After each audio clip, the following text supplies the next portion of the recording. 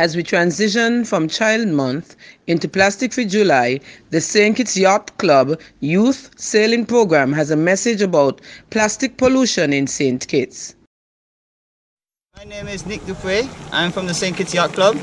We have a little message we want to tell you guys. It's about the plastic pollution that we have on the beaches. Uh, let's have a little chat with the kids and see what they have to say. I see a lot of straws, bottle caps, plastic bags. Yeah, what kind of stuff do you see? Straws, wrappers. Yeah? Are those bad for the environment? Yes. Yeah, so what can we do to try and help? Pick up three trashes every time we come to the beach. Yeah? Mm, when I go to the beach just to swim around and stuff, I end up walking on all the plastic pollution.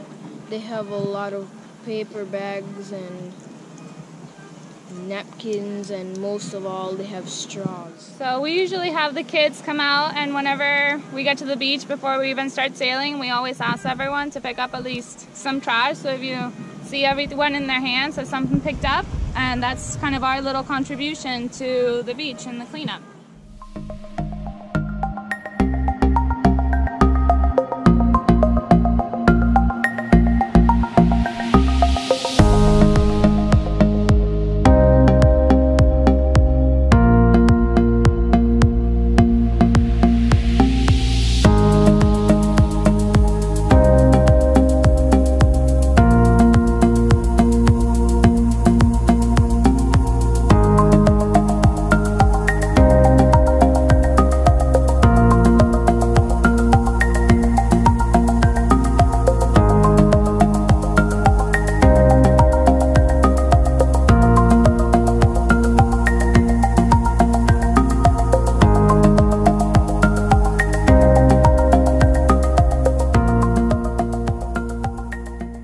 The beach, there's always trash on the beach, in the water, under the water. This is everywhere. Like just looking down at our feet, we can see tons of trash. So like I can't do it by myself, the kids can't do it by themselves. But if everyone comes together, like just three pieces, like every time they go to the beach, it helps a lot. We all need to team up to clean up our island and our beaches because it's harming um, our St. Kitts and Nevis animals in the sea or on land.